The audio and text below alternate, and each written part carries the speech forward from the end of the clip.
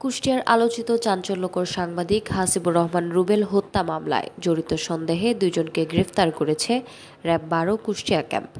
শুক্রবার দিবাগত রাত আনুমানিক সাড়ে তিনটার সময় কুষ্টিয়া জেলার বিভিন্ন এলাকায় অভিযান পরিচালনা করে তাদেরকে গ্রেফতার করেছে র্যাব।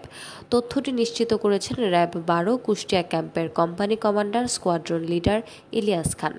গ্রেফতারকৃতরা হলেন কুষ্টিয়া শহরের থানাপাড়া এলাকার মৃত হামিদ মোল্লার ছেলে কাজী সোহান শরীফ ও একই এলাকার মৃত খন্দকার হারুনুর রশিদের ছেলে খন্দকার আশিকুর রহমান জুয়েল।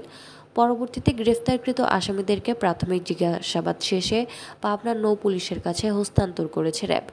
উল্লেখ্য, গত তেসরা জুলাই রবিবার রাত নয়টার দিকে সাংবাদিক রুবেল কুষ্টিয়া শহরের বাবর আলী গেট সংলগ্ন নিজ পত্রিকা অফিসে অবস্থানকালে মোবাইলে একটি কল পেয়ে তার অফিস থেকে বের হয়ে এনএস রোডের সিঙ্গার মোড়ের দিকে যান।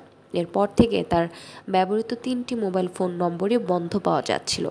এ ব্যাপারে সাংবাদিক রুবেলের ছোট ভাই মাহবুব রহমান সোমবার রাতে কুষ্টিয়া মডেল থানায় একটি সাধারণ ডায়েরি করেন, যার জিডি নম্বর দুইশো তিন।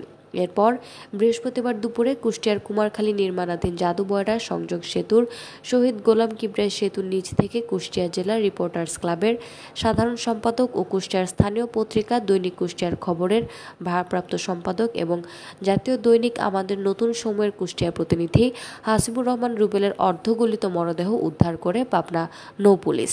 এ ঘটনায় শুক্রবার নিহত হাসিবুর রহমান রুবেলের চাচা মিজানুর রহমান বাদী হয়ে অজ্ঞাত ব্যক্তিদের আসামি করে কুমারখালী থানায় একটি হত্যা মামলা দায়ের করেছেন।